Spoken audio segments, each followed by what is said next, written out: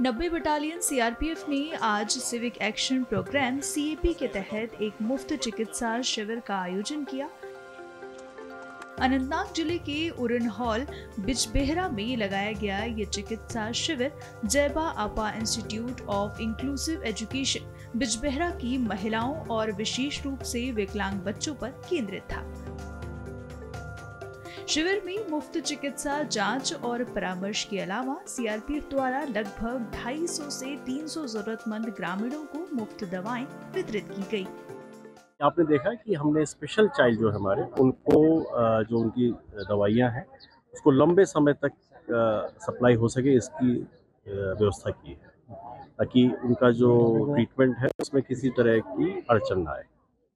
तो आपने देखा कि जो दवाइयाँ हमने अभी वितरित की उसमें लंबे समय तक का उसमें स्कोप रहेगा या प्रोविज़न रहेगा। और आगे भी हम इसमें अपनी कंट्रीब्यूशन करते हैं।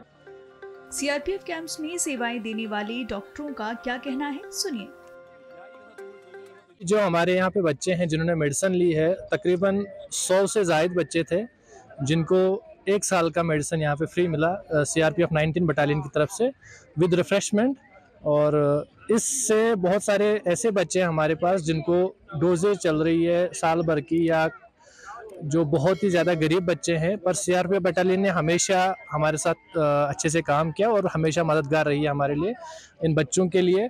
और इससे ये बेनिफिट है कि जो बिल्कुल पसमानदा या जो गरीब बच्चा है जिसको इतनी उसके पास जो इकोनॉमिकली वीक है तो इससे बहुत ज़्यादा मदद होती है उन बच्चों के लिए और उनकी जो लाइफ है या उनका जो रिकवरी फ़ेज़ है बहुत ज़्यादा आगे बढ़ जाता है। हम ये सीआरपीएफ कैंप में सुबह से आज बैठे तो हमने यहाँ बहुत सारे पेशेंट्स को देखा। खासकर स्पेशल चाइल्ड्स का था ये उनके लिए था स्पेशली तो बहुत सारे बच्चे आए थे बहुत सारी मेडिसिन डिस्ट्रीब्यूट हो गई सब में। आ, लोकल पब्लिक भी आई हुई थी। बड़े आए थे, बूढ़े आए थे लेडीज़ आई थी मेल्स आए थे, सारे आए थे तो सबको अच्छे से इन्होंने मेडिसिन प्रोवाइड की। तो मेरे ख्याल से ऐसे इनिशिएटिव्स होने चाहिए, हर कोई डिपार्टमेंट खासकर मेडिकल डिपार्टमेंट सीआरपीएफ की तरफ़ से तो होते रहते हैं, हम इसमें आते रहते हैं तो मेरे ख्याल से ये बहुत अच्छा है, और ये सोसाइटी के लिए भी एक अच्छा इम्पैक्ट जाता है। और अच्छा भी रहता है ख़ास कर जो आज इन्होंने स्पेशल चाइल्ड्स के लिए रखा था। तो ऐसा होना चाहिए। सभी का मानना है कि इस तरह के प्रयास आगे भी होते रहने चाहिए, जिससे इन चिकित्सा शिविरों का लाभ जरूरतमंद ग्रामीणों तक पहुँच सके।